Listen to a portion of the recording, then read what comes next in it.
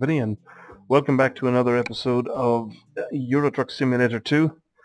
Uh, here we are. Uh, we have slept. We have 11 hours of driving awaiting us, 25 hours with which to get the delivery done and a 44 hour window with which to to do that in. That includes sleeping and everything else. So we will turn on some lights, check some mirrors and pull out and go. Your man on the other hand was here when I got here and he's he's not in the cab. Okay, what time is it now? Well, it's 6.10 in the evening and um, there's a bit of weak traffic here coming along so you are going to let me out. Well, thank you for sacrificing your forward progress to allow me to join out in front of you and keep the keep keep in your way. the joys of being the lorry driver. And I don't know why I'm doing a silly French accent. Or a French accent that's silly, I suppose, technically. Anyway. There's a balloon that doesn't look like it's inflated enough to float up there. I always think that of the balloons that are in SCS, they just they just look a little too tall. In reality, they're much more filled out, much more bulbous.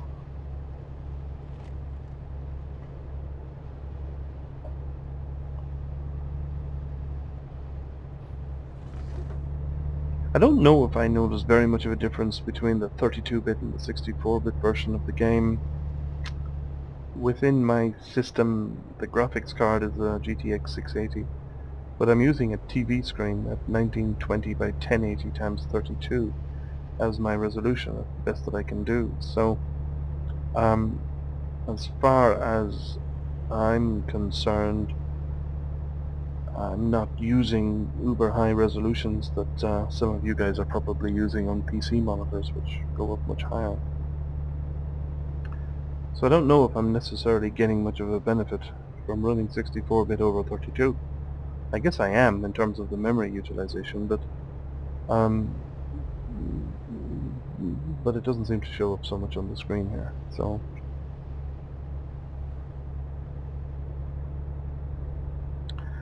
we're done 35,000. We'll be doing 30. We'll be well into 36,000 by the time this run is over. And there comes the first yawn.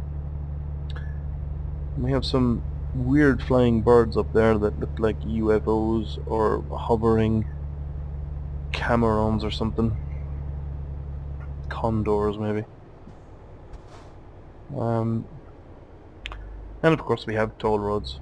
We wouldn't be driving in Europe if we didn't have toll roads, which are nearly my favorite aspect of driving through ETS.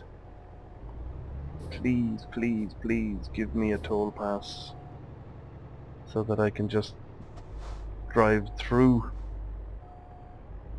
Please make it uh, an achievement or something.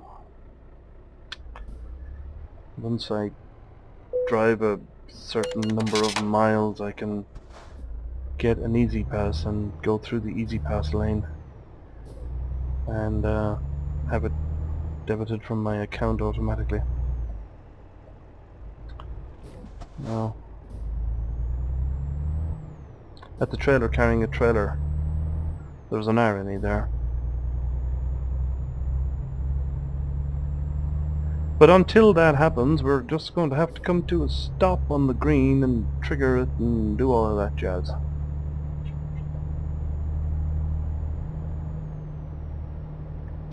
Future developments, hmm?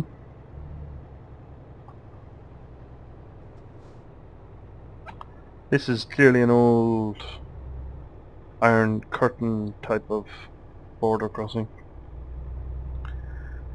Most of which are deserted now, most many of which are actually pulled down. There was one not too far away from where I live, which I used to pass through years ago when I first started traveling in this part of the world, um, crossing the border to Eastern Europe as it was. Um, and that was before the um, Schengen Agreement. And you'd have to stop and passports and sometimes check your car. Which was terribly exciting the first time and it got very old very quickly because I was crossing the border quite a bit over and back with my travels for work at the time. And then in 2006 or 2000 and something like that, it all went away and you could just drive through. The buildings were there, the guard huts were there, everything else was set up and there, just there was no need to stop and there was nobody going to step out and ask to see your passport or your your, your ID card or whatever. It all just became quite easy and I think about a year and a half ago um, the buildings were taken down on the Austrian side and removed and uh, there's just some of the concrete foundations uh, are left where the buildings were put. They were all kind of sheds. H um, um, H iron, what do you call it? I can't think of the name of it now, but you know the big metal um, H girders or whatever that were sunk into the ground that formed the legs of the sheds.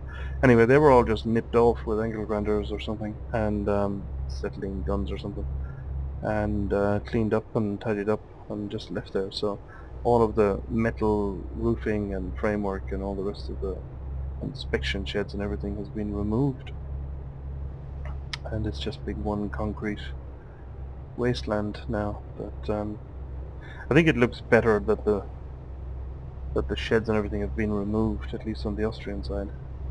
Uh, the Hungarian side, they haven't done that. They've um, they've left them there. Um, I guess it's just probably an economics thing. They don't want to spend the money to. They don't want to spend the money. I mean to um, take them down. So they're in fairly decent shape. Having said that, so you know it doesn't really make a difference if they're left up or not. You can drive, you can drive through them freely anyway. So I did note it as a fairly positive message um, from the Austrian side of the border to their neighbour in Hungary um, that you know they were removing the sheds and knocking it down so their attitude was it's good to have open borders and, and they're they're kind of communicating their support for that concept, it seemed. That's how it read to me. I don't know if that was the case or not, but certainly that was one of the reactions that I had. I was quite happy to see that the, the buildings were coming down. I think there's too many borders in the world and we can we can serve to reduce some of them. Wow, would you look at that sun? It's pretty cool, huh? Bathing us in that kind of red light. all to do with the reflection of photons. Apparently. We did read about it once in physics. Um, lecture or something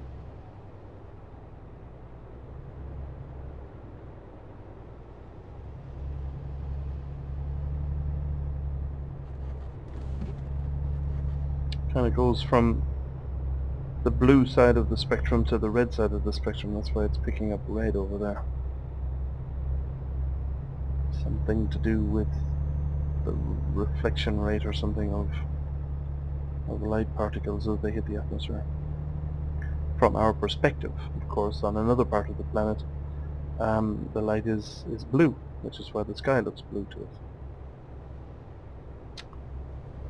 But from this part of the planet, if we were on this part of the planet uh, with the sun going down, uh, it looks red because, again, something to do with how the light is transmitting.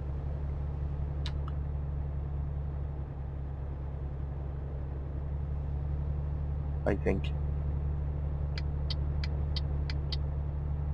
Long time ago, and I don't really remember terminologies for the there's Razi and Mickey or something. No, no, I'm, I'm kind of knocking on the door of it, but I don't really remember the terminologies that explain.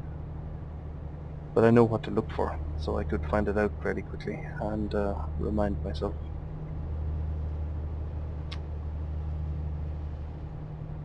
Anyway, how the hell did I get talking about physics from displaying my lack of knowledge of physics? Uh, get over into this lane here, I think, and uh, that's a nice maneuver. She be done good. Now, that AdBlue and that fuel tank are definitely tracking each other, so I'm definitely going to have to reread that update about the AdBlue because she's not making sense to me at all. There's a bit of movement there behind I can hear. And that is new, I haven't heard that in previous builds.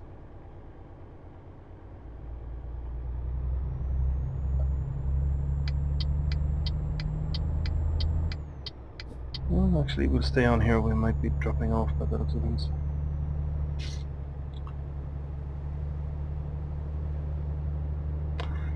So I think one of the la latest updates from SCS has been their um, kind of refresh of the Blender tools for folks that are interested in mods and making things.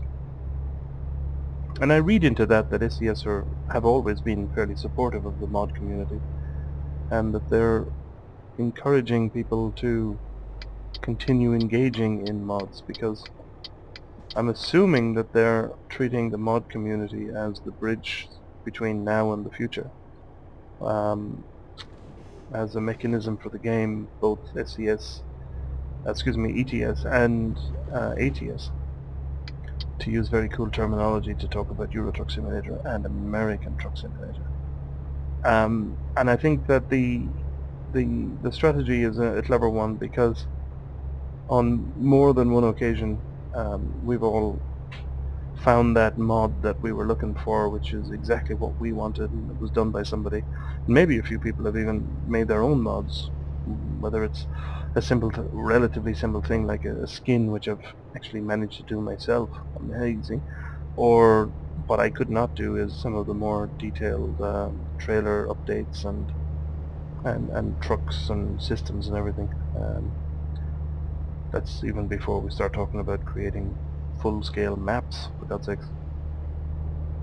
So um, to hear that uh, and to see that SCS are, you know, releasing public tools which are essentially the same tools as their engineers use in the office. Maybe not exactly the same in every respect, but uh, the basic same tools.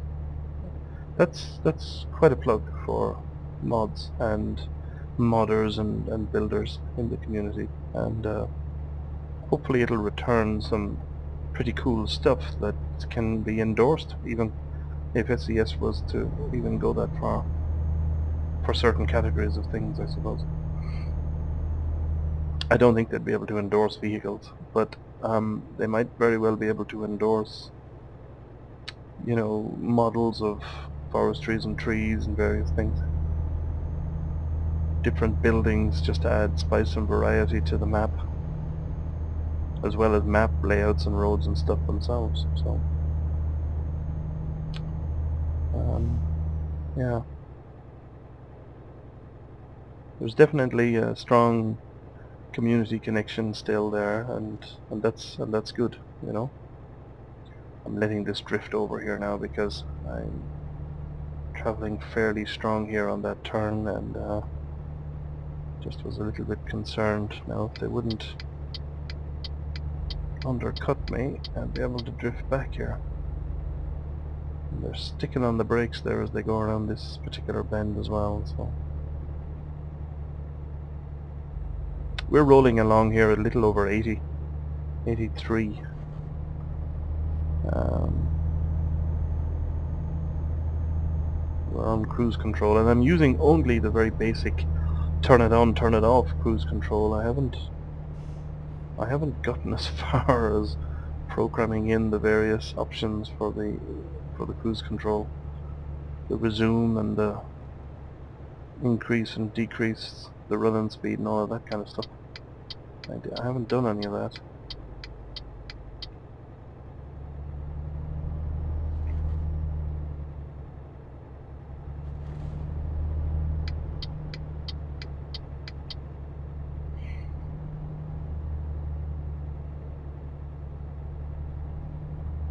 I think in one of the last videos that I was doing, um, I was choosing to travel by the road signs, which is something I must start doing again. It's very easy to start just to use the GPS Ooh, excuse me, follow the the red line, and it's handy as a kind of a double check. But um, I think I on the next job I will try and remember not to use the GPS and just follow the road signs and follow the map.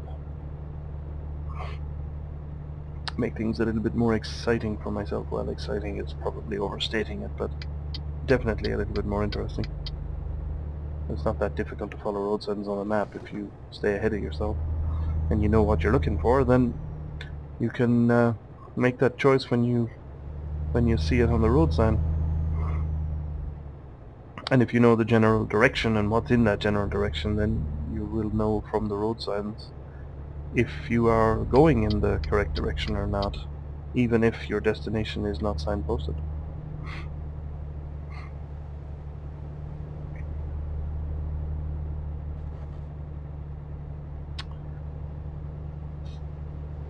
Thirty-six thousand, or is that thirty-nine thousand? Can't read.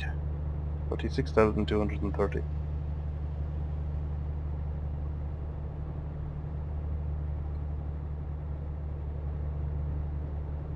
Not too shabby. Not too shabby at all.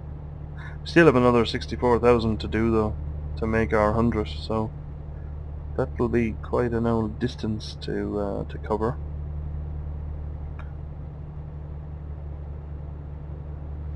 I wonder if anybody done a million kilometers yet.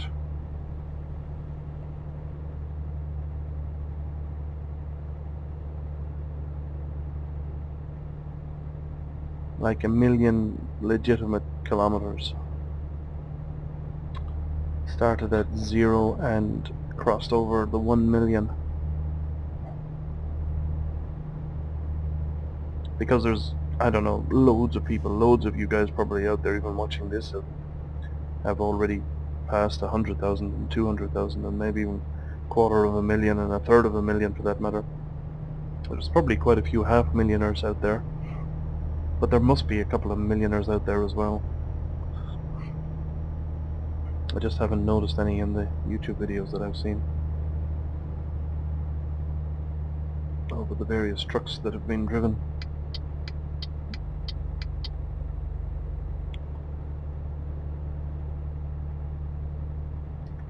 Ausfahrt. A lot of directions to Ausfahrt.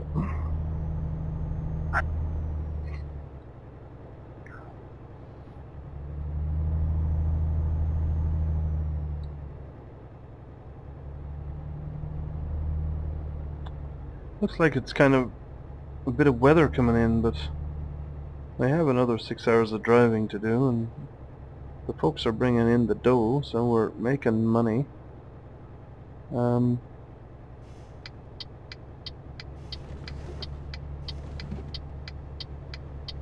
those noises behind me do disconcert me a little bit.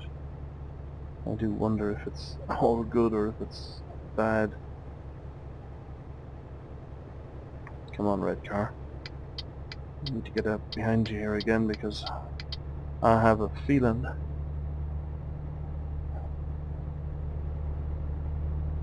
Yeah, I was right too. This is one of those 3 to 2, back to 3 junctions. Instead of having an exit lane. Rawr. And back to 3.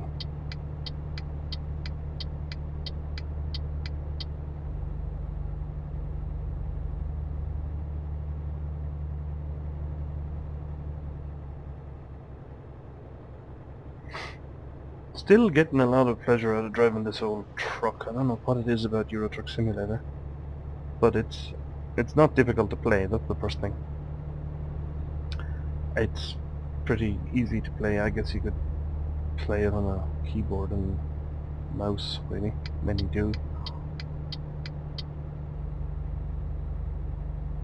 I've never really kind of seen the attraction of playing a driving simulator with a keyboard. Or a flying simulator with a keyboard for that matter. It's never really been too interesting for me. Even in like Arma, where you're driving the vehicles and flying aircraft using the keyboard, it's um, eh, it just doesn't kind of capture my imagination or my attention very much. Um, but with a steering wheel, as we're using here, I'm totally engrossed in it. Maybe it's because it's so simple, it works really well with my little brain. My little brain likes simple things. As opposed to during my workday when unfortunately I'm having to use my little brain that likes simple things quite a bit, particularly on things that are not so simple. So this is a great way to just chill out and relax for me as well because don't really have to think that much. It's not a game that is mentally terribly challenging and I don't mean that in a in a negative or a condescending way. Um, but frankly speaking, uh, the skill in this particular game is is more the attention to detail and just being disciplined rather than necessarily working any majorly complicated strategy or whatever. Very much unlike um, IL-2 Cliffs of Dover um, on Storm of War, and I'm particularly talking about the Storm of War server here because the server is designed, uh, the gameplay is designed uh, to be quite taxing in many regards. Um, for starters, it's it's a full um, realism setting that's or at least within the game's boundaries and limits there's full realism so you know you don't have any third person views it's first person view only. Um, complex engine management is switched on so if you're not careful with your radiators you'll uh, you'll you'll blow them and have a steaming engine which will eventually stop and you'll fall out of the sky. Um, the the whole style of flying on Storm of War is geared towards the squadrons more so than it is towards the lone wolf flyer. Now that's not to say that an individual pilot cannot come on and uh, do their thing. And there's public airfields that are dotted all over both sides of the map, um, or the map on both sides, that accommodate um, individual pilots who, who want to fly. But um, I think individual pilots may have a slightly more difficult time because their opponents are more than likely going to be working in cooperation uh, in groups of uh, 2 to 10, I suppose, 8 maybe, typically.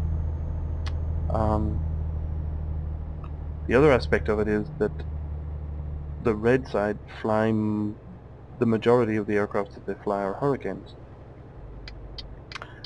Um, so on a typical event night where there's perhaps 30 red pilots, um, there will be more. Th th there'll be about 20 hurricanes making up that, and the other will be, the others will be uh, will be Spitfires. Um, and there's usually about 70, maybe 75 slots on the server, and so red will have 30 or maybe maybe 32 um, slots, but they will be for sure more blue than there are red. Um, again, in respect to to history and the fact that um, the red side, the the Allies uh, in the Battle of Britain, so it would have been Great Britain's air force were outnumbered by the Luftwaffe again you're flying in formation which demands a certain skill set and a high level of continued concentration. And then if you're in the position of uh, flight leadership then you are taking the lead of up to 10 um, up to 10 people. And you have to maintain situational awareness. Your communications have to be pretty much thought before you speak. Uh, your communicating to a dedicated ground controller or a team of ground controllers who will give you vectors to fly, altitudes to to operate at, and um, you know, occasionally will be contacting you for specific information. Um, so my point is that it is quite a, cerebral, a cerebral uh, exercise flying Storm of War. Um, IL-2 Cliffs of Dover, that game that originally came out broken and has been by and large uh, fixed and made awesome by Team Fusion and um, it's it's a game from which I derive huge satisfaction and a real sense of accomplishment simply by taking a plane up, performing the patrol that I'm assigned and getting to land safely back um, is on certain events and certain days uh, a significant achievement. Um, this is a game that is not a game, it really is a simulation. Of course there's compromises with any simulator on a PC, so um, those have to be accepted and there's not much you can do about them, but um, aside from those, it's it can be quite stressful sometimes. Um, whereas ETS2 here, it's kind of stay between the lines and, and drive your truck down the road. Uh, I, I enjoy it from that perspective because I don't really have to think that much. Like I say, it's nice and simple and it suits my brain that likes nice and simple things.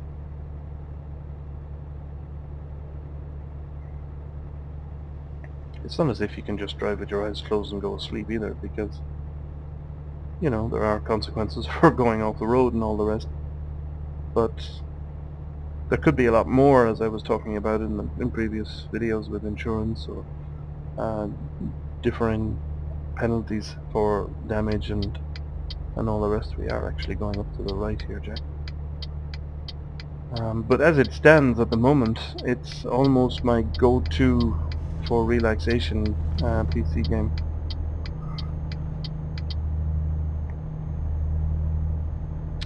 Somebody in the comments did um, make some reference to the fact that Euro Truck Simulator 2 is boring now that, you know, everything is done and even if they bring out a new truck, it's kind of the same old thing. We're on the line here, we need to drop down here kind of suddenly, never checked my mirror. Could have been a major disaster, heavy on the brakes, not watching where I'm going, we're back under control. Hmm. I'll just flash the lights there in case there's anything coming down. Not that the AI would take any note of that. What's our situation with time? We have three hours left, 15 um, for the job, 36 of a window. Uh, so we can't just sleep for 36 hours or even 24 of them. Um, but the, you know, this comment was pretty much saying that, like, why bother? ETS2 is boring, like, where is American Truck Simulator? and uh, you know this person was a well-spoken um, person who who you know who just used plenty of I think their favorite word was bitch you know. So I read it because I just wanted to see if there was even a little bit of a common point or a, a sensible um, argument in there and and there wasn't I mean it was as incoherent uh, as, as it was rude within the language. Um, so this is just, you know, somebody who hasn't uh, suffered puberty yet, um, or, or got out of it successfully, um, you know, just having a bit of an emotional vomit. Um, and uh, I couldn't help but reply myself along the lines of, speak for yourself, basically. Ah, we did it again. Well, anyway, we got away with it that road actually comes to an end up there, I think, does it? Maybe not. Um, and uh, I don't know if they've replied back or if they can be arsed or uh, I don't really care. But I do, I do sometimes think that uh, to blindly ignore people who post comments like that uh, just almost gives them a license to come back and post more. and if you respond to them sensibly, there's an open argument on what that what defines sensible here, but certainly fighting fire with fire is is um, is not sensible with these kind of people because um, they they don't really know what they're doing. They're um, you know they're they're using words that they're they think they're getting attention by using, and uh, it's more of a an emotional therapy for them than it is necessarily any sensible point that they're making. But nevertheless, I did read this particular thing, hoping that maybe there was something worth talking about in it, and uh, and of course there wasn't. There rarely is, um, and um, yeah, I'll check the next time I'm I'm looking and see if uh, see if I've re received a reply. But to do nothing with comments like this, I think is wrong, as I said, because I think you just give people the opportunity to believe that they can write what they like and they'll come back and repeat it. Whereas if you hold the candle to them, they'll probably come back immediately with more bitches and more bad language. Um, but then they'll be spun out and, you know, they won't have anything else to offer. And, um, you know, they're, they'll bring the conversation to an end with, with bitch and whatever they're going to say or write.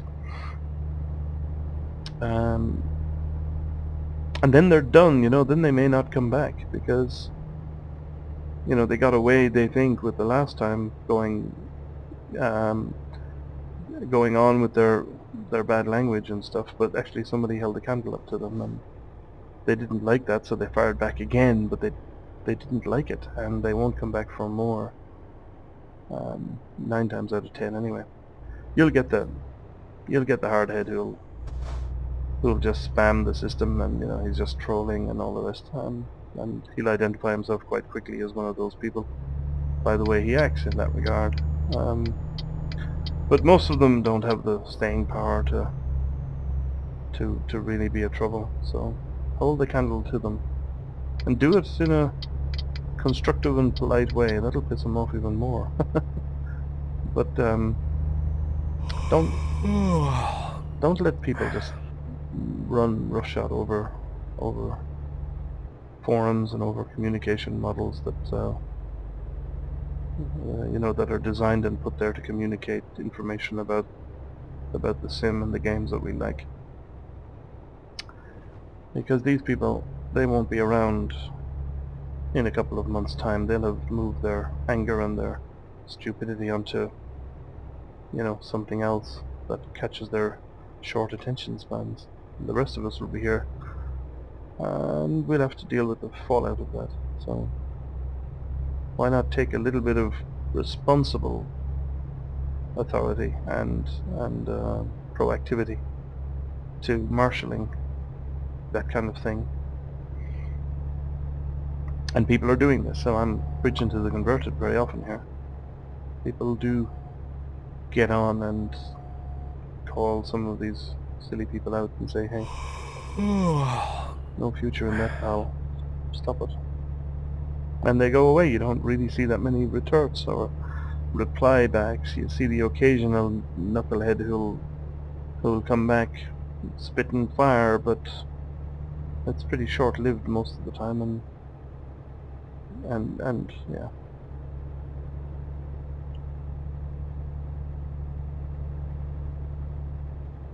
seems to be pretty much commonplace across the board and uh,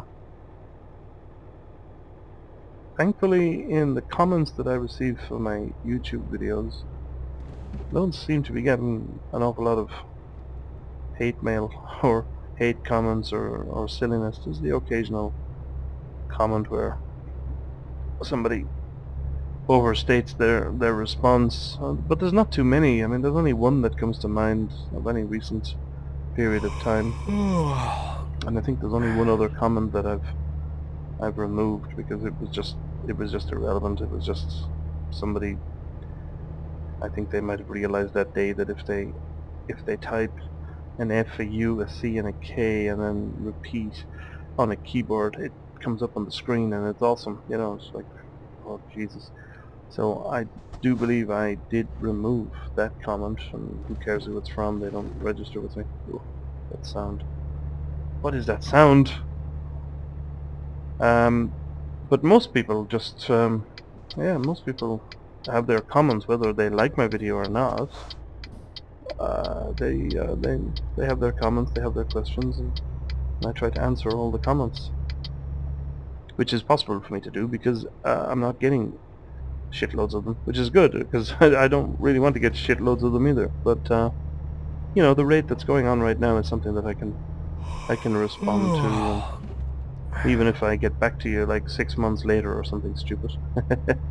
um, in the case of in the case of one person who posted, I didn't see their comment for a long time, and I I came across it when I was just scanning through my comments actually, and I thought, oh, I never replied to that, so so I chose to reply with my opening line being better late than never or something. Um, and they even came back to me going, gosh, how, how did I find the comment? So uh, that was quite a nice little interaction there. It's kind of cool that there's nice people, good people that are basically making up the majority of, of people in general, and, and that's represented on the channel here. So I'm uh, kind of continually surprised at the uh, engagement that exists and the number of people that watch uh, the various videos that I do. It's um, it's it's really quite nice. Right, well that is the warning to find a place to rest and uh, I think we are probably out of time. 11 minutes. Could we time this better? So we are we're going to go in the right way here on this take down the speed and then just bring her around fairly handy there and uh, hopefully we are going to fit underneath that canopy but just about and we're just going to drive her up here beside Anhalt Logistics.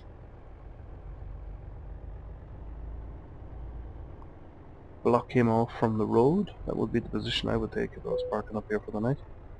Because the my position that I've parked in now would hopefully offer me some protection from noise and all the rest. Right, handbrake on, lights are out, engine is off, and that's what we're going to call uh, a trip. Right now we're here in, um, where are we? well we're here.